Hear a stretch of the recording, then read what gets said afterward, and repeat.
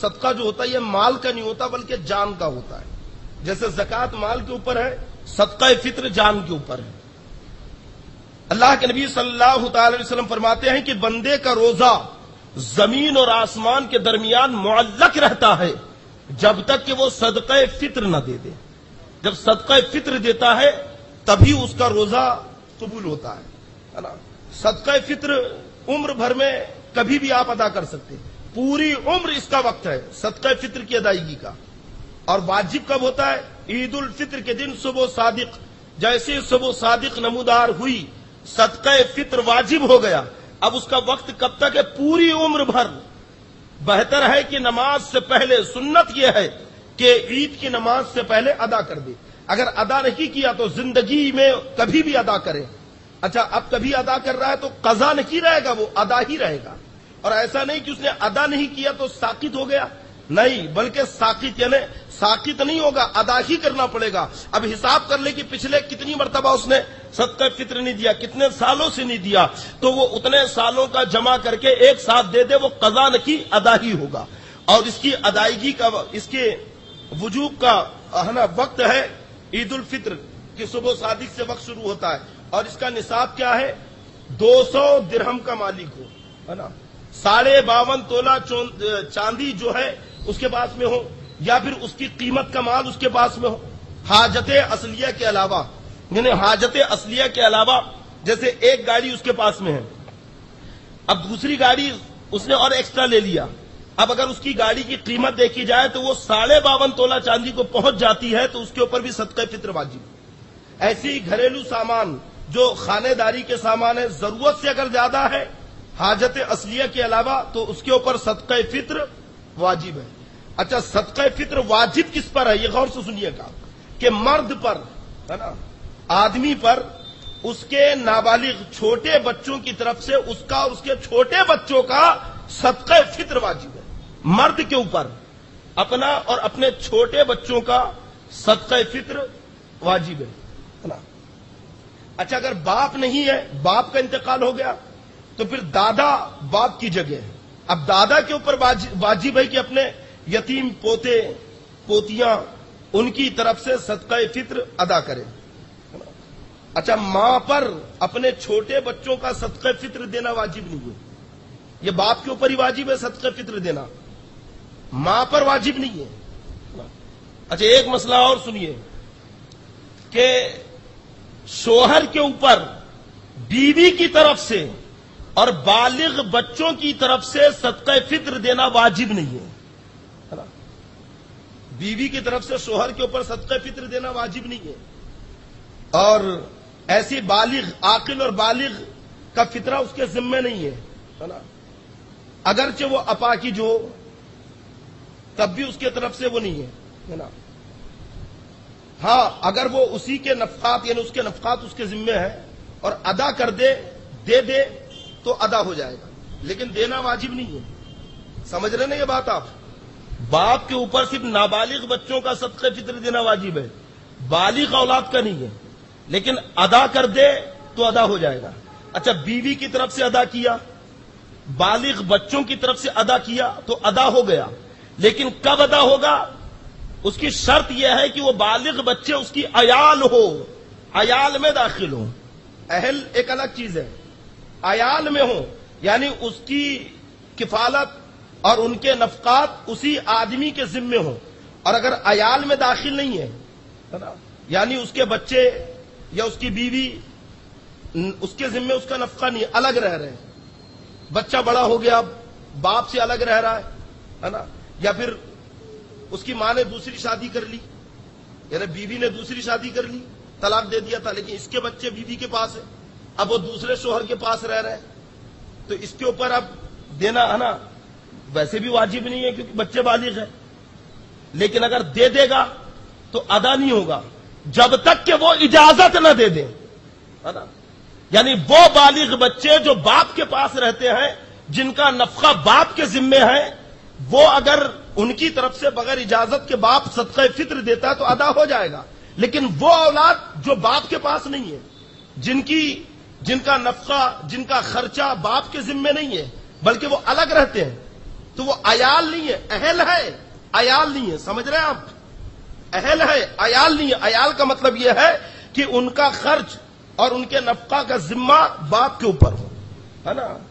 ایال ایک الگ چیز ہے۔ شادی کے جو کارڈ آتے ہیں نا، اس پہ لکھا رہتا ماں اہلو ایال کئی نوجوان ایسے ہیں کہ چھ چھ مہینہ باپ کو جھانک کے نہیں دیکھتا ہے۔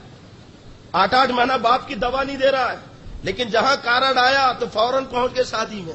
ارے، آپ کیسے تشریف لائے؟ کارڈ کس نے دیا؟ ابا کے نام سے آیا تھا نا۔ ہم نے کبھی ایال کے لیے تھا، اہل کے لیے نہیں۔ کیونکہ لکھنے والے نے ماں، اہل و ایال ہے نا؟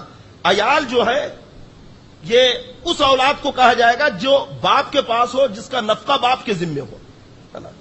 لیکن یہاں پہ جب دعوت کی بات آتی ہے تو ساری اولاد فائدہ اٹھاتی ہے۔ اور باپ کی خدمت کی بات آتی ہے تو کسی ایک کے ذمہ ڈال دیتے ہیں۔ ہوتا ہے کہ نہیں اکثر؟ اچھا میں نے یہ بھی سنا ہے دعوت کے تعلق سے کہ بہت سارے نوجوانوں نے ایک ایسا گروپ تیار کر رکھا ہے کہ ایک کو دعوت آتی ہے تو چار اس کے پیچھے جاتے ہیں۔ ہے کیا کچھ ایسا ہے؟ ہاں؟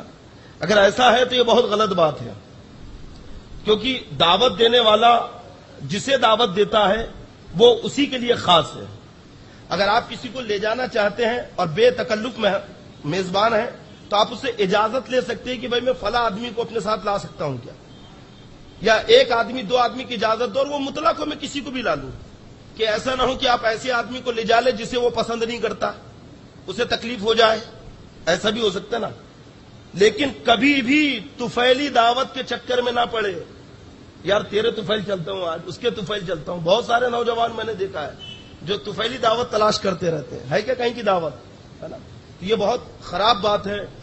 اور فقا فرماتے ہیں کہ، ہے نا، ہمارے اسفیہ بزرگان دین کی بغیر دعوت کے کھانا کھانے والا ایسا ہے جیسے گیا تھا چور بن کے، نکلا ہے ڈاکو بن کے۔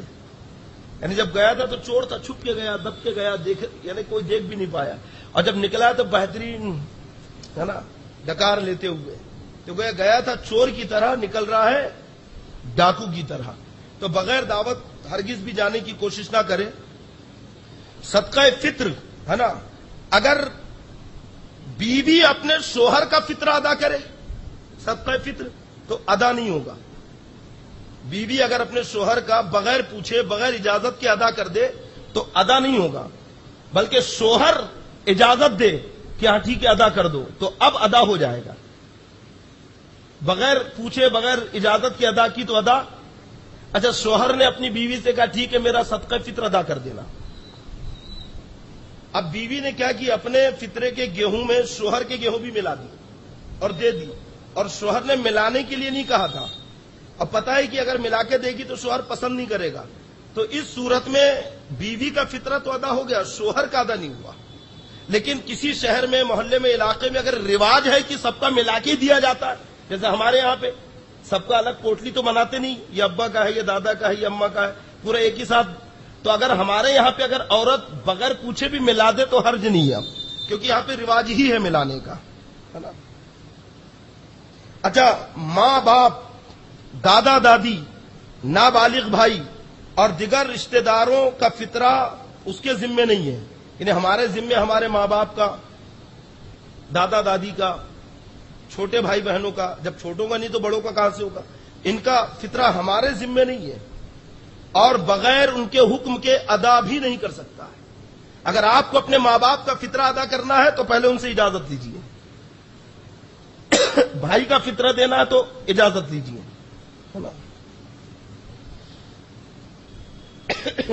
اچھا فطرے کا مقدم کرنا یہ مطلقاً جائز ہے۔ جائز ہے آپ اسے مقدم کر سکتے ہیں نا؟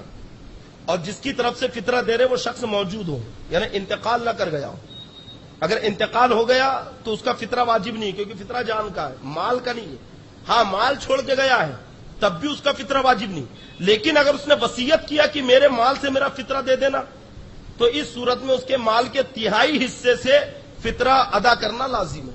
پھر اس کے مال کے تہائی حصے سے اسے فطرہ ادا کیا جائے گا تو فطرہ جس کا بھی دے رہا ہے وہ موجود ہونا چاہیے اور وقت سے اگر پہلے دے رہا ہے کیونکہ عبادت مالی ہے، عبادت مالی میں تقدم جائز ہے یعنی پہلے ادا کر سکتا ہے۔ اگرچہ صدقہ فطر رمضان شریف کے پہلے ادا کر دے، تب بھی ادا ہو جائے گا۔ لیکن سنت یہ ہے کہ عید الفطر کے دن صبح صادق کے بعد اور عید کی نماز کے پہلے ادا کرے گی سنت ہے۔ لیکن رمضان میں دے دے، رمضان کے پہلے دے دے، تب بھی اس کا صدقہ فطر ادا بولیے نا۔ ہو جائے گا اس کا۔ اور صدقہ فطر میں گیہوں، ہے نا، یا جو دیا جاتا ہے، کھجور دی جاتی ہے۔ ہمارے یہاں پہ جو نکالا گیا ہے، دو کلو پینتالیس گرام گیہوں ہے نا۔ تو بہتر، جیسے گیہوں اور جو دینے سے بہتر ہے کہ اس کا آٹا دے۔ آٹا جو تو غریب کو صدقہ کر دے۔ اور آٹا دینے سے بہتر یہ ہے کہ اس کی قیمت دے دے۔ اس کے پیسے دے دے۔ گیہوں دیا تب بھی ادا ہو جائے گا۔ آٹا دیا تو اور اچھا ہے۔ لیکن بہتر یہ ہے کہ قیمت دے دے لیکن جب گرانی کا دور ہو، قحط پڑ گیا، اناج کا کی قلت ہے، ایسی صورت میں اب اناج دینا افضل ہے۔ یعنی سچویشن کے اعتبار سے۔ یہ اسلام پیارا اور مبارک مذہب ہے کہ جو اپنے ماننے والوں کو بڑی رعایت دیتا